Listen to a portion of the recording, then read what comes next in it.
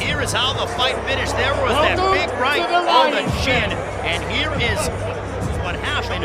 But Charlo went back on the offensive, the left hook. And here we see a big right hand. Right. And here's this left hook. Bang! Oh my goodness, Centeno is out on his feet and he goes crashing to the canvas. He actually ran into the ropes, did Hugo Centeno. He's okay, but here is another look at it. Here's that big right hand. Boom! Right on the chin. It Charlo, they clash heads, but look at the left hook. And then Charlo went right back to work. Two, well, right followed by a left, followed by another right. Boom, right there. Look at the face of Hugo Centeno move. Your face isn't supposed to move that way.